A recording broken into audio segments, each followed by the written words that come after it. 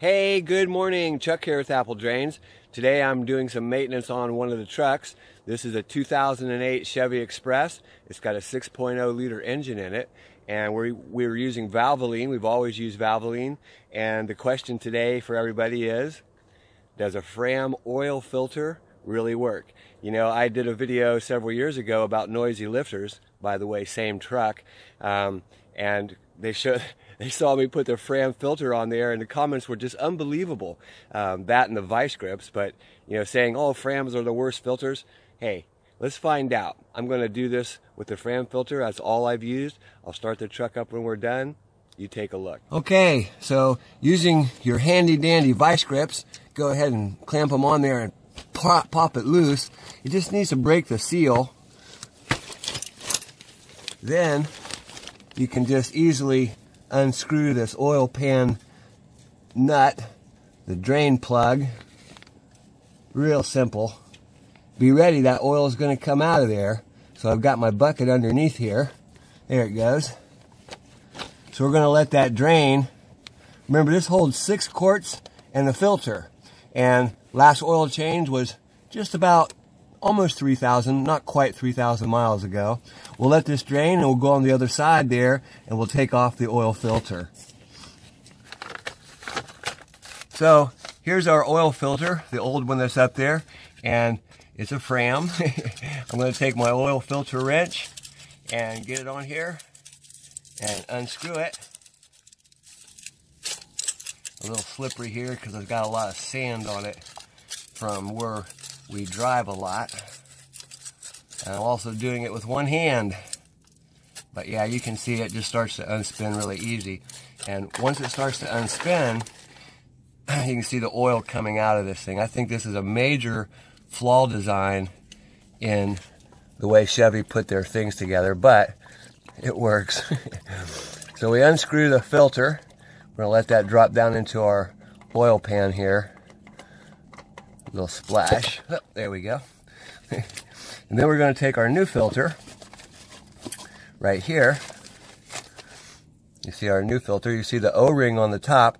What we want to do is get a little bit of oil, old oil. Here we go. And spread it around the O-ring so it makes it easy and makes a nice tight fit when we put it back up onto the oil filter nut. And we'll clean that off too.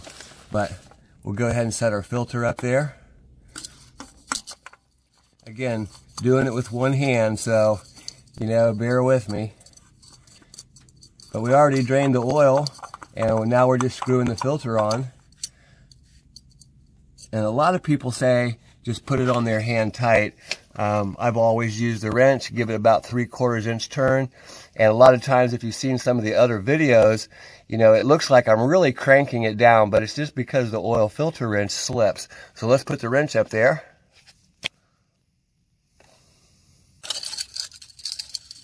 So you get your wrench on there and just, just kind of snug it a little bit. And again, it looks like I'm tightening, but it's just slipping off of there. There we go. That should do it. Let's clean it off again. And behind it. Nice. So, again, Fram oil filter. Um, that's all I've ever used on this truck. And I'm going to show you that mileage. You're going to be surprised. Okay, so now we're going to put the oil plug back in. And we're going to tighten that up with our hand first. Just screw it in there so it goes on nice and securely.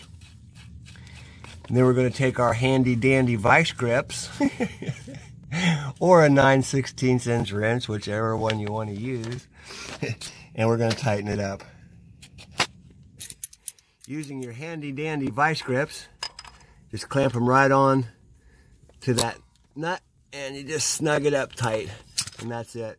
Now again, you could use a 9 16th inch wrench, but since I made that video using vice grips about noisy filters, it's just hilarious what people have written. And I mean, you know, you use what you got. So, So that was a really quick oil change, took less than five minutes, and um, now we're going to put some oil in. But you know, there's a lot of great videos. I think you can find a video on auto repair, everything from changing transmissions to turning the key on the ignition.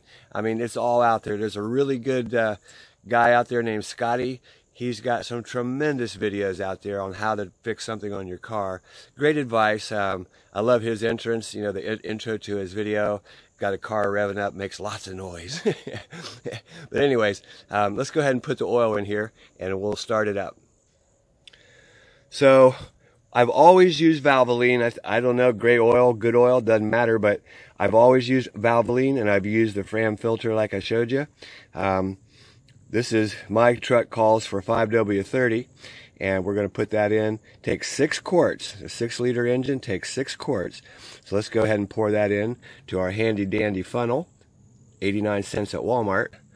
Like I said, you know, I've done lots of other work on this, this truck and the water pump was probably the, the hardest thing. And that really, I should have made a video. It only took about an hour to do. Um, something else I did, uh, brakes, that takes, you know, 10, 20 minutes. Um, I'm not really sure. There was a few other things that I did, but this is the, the a really simple task, putting oil in your, your car. Your no leaks here. No leaks here. Listen to that engine purr. 500,000 miles. So we started the truck, and there you can see it. That says 400 98,265 miles. Just a few miles shy of 500,000. That'll be our next oil change.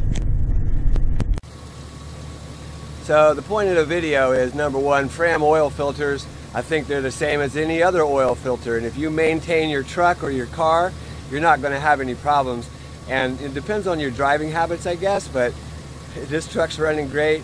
We drive hundreds of miles every day we have to have a good running truck and you know so we have to maintain it. Something that you should do as well. Make sure you maintain all the fluids uh, anything that your car requires you should take care of that.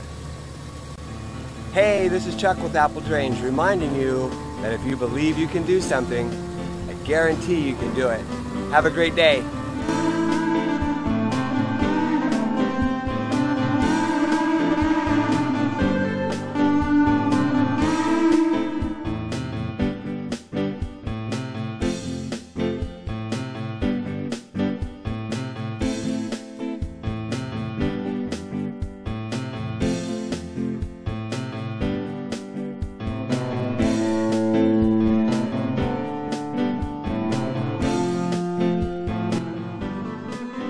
I didn't have any gloves on and I'm going to use some hand cleaner. But I guarantee you that if you had gloves on, you're still going to clean your hands.